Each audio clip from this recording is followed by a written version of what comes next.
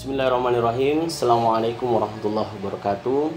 Alhamdulillah Alhamdulillahirabbil alamin wa bihi nasta'inu ala umuri dunya waddin Allahumma shalli ala sayyidina Muhammadin wa ala alihi wa ashabihi ajma'in. Amma ba'd.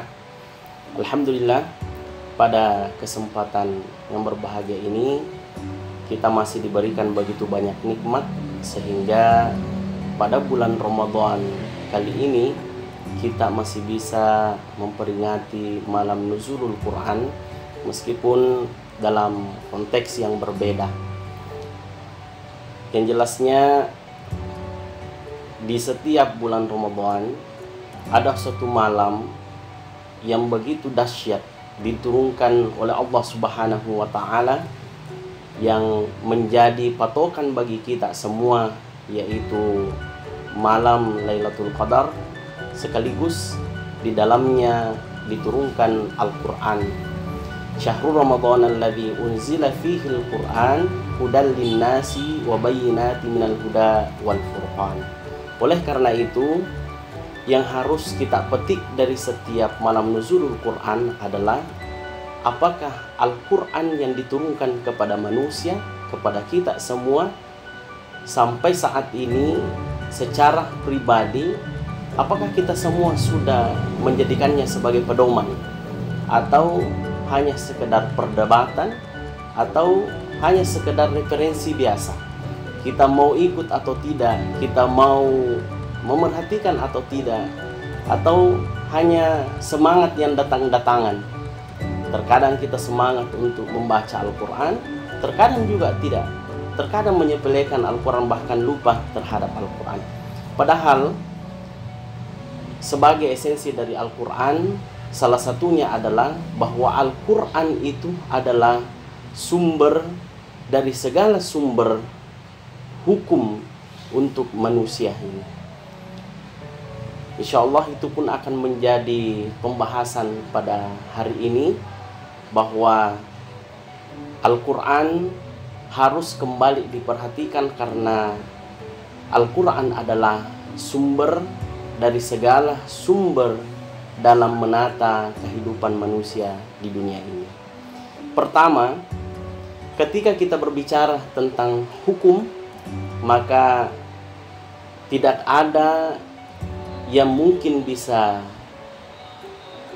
lahir dari perkataan hukum itu sendiri selain menyandarkannya kepada hukum yang ditetapkan oleh Allah Subhanahu wa taala. Misalnya kita mengambil dari definisi hukum ya dari kamus lisanul Arab itu diartikan sebagai al-ilmu atau al-fiqh atau al-qada bil adil yang mengarah kepada ya bagaimana terciptanya suatu keadilan terhadap hukum itu. Di dalam di dalam kamus Al-Muhit juga seperti itu. Al-Muhtasar juga seperti itu.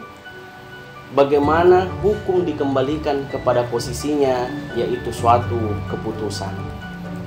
Nah, lebih lanjut bahwa dulu kata hukum ini pada era sahabat Rasulullah Shallallahu Alaihi Wasallam ada perbedaan makna karena dikenal sebagai as-sultanu atau dikenal sebagai al-mulku. Tetapi penggunaannya ini hanyalah istilah yang mengarah kepada hakikatul urfiyah. Kebiasaan-kebiasaan pada saat itu yang mendasarkan hukum kata hukum ini kepada al-mulku dan as-sultan. Nah, kalau di dalam Al-Qur'an sendiri, ya, di dalam Al-Qur'an sendiri ketika kita melihat uh, di dalam surah Ali Imran ayat 7 ya, huwallazi anzala 'alaikal kitaba minhu ayatum muhkamatun. Ya. Jadi di sini diberikan dua ya, ciri ayat yang ada di dalam Al-Qur'an ada yang muhkamat dan ada yang mutasyabih. Nah, yang muhkamat tentulah kita tahu bahwa yang muhkamat itu sudah jelas dari aturan-aturan yang diberikan oleh Allah, jelas ayatnya dan ada juga yang mutasyabih, masih memiliki dua eh, potensi penafsiran yang ada di dalamnya. Tetapi ketika memahami muhkamat dan mutasyabihat ini, yang jelasnya ketika muhkamat maka ketegasan dari Allah untuk mengatur umat manusia dari kejelasan ayat tidak bisa ditafsirkan lain lagi melainkan apa yang diperintahkan oleh Allah maka itulah yang harus kita laksanakan. Sedangkan mutasyabih meskipun mungkin ada pentakwilan ya, ada pentakwilan atau ada pendefinisian lain yang jelasnya kita tidak boleh memperdebatkan hal ini yang justru mengurangi keimanan kita. Karena ketika mengurangi nilai keimanan kita, inilah terlepas dari tujuan Al-Quran itu yaitu untuk memperkokoh dari keimanan kita ini. E, selanjutnya bahwa di dalam Al-Quran ini penjelasan hukum dalam Al-Quran itu ada yang bersifat juz'i, ada yang e, terperinci. Ya. Jadi dilakukan sesuai dari bunyi ayat tersebut. Misalnya dalam hukum waris, dalam hukum perkawinan, ya, atau dalam hukum-hukum yang lainnya seperti dalam jinayah, ya, asari kuasari qatu faqatu aydiyahuma begitu. Jadi semua yang telah diterangkan secara juz'i di dalam Al-Qur'an secara terperinci ya sesuai dengan bunyi ayat dan tidak ada peluang untuk melakukan uh, pemahaman atau interpretasi yang lain terhadap ayat yang juz'i ini. Yang kedua adalah ada yang bersifat kulli. Ya, dia lebih kepada bersifat global. Ya.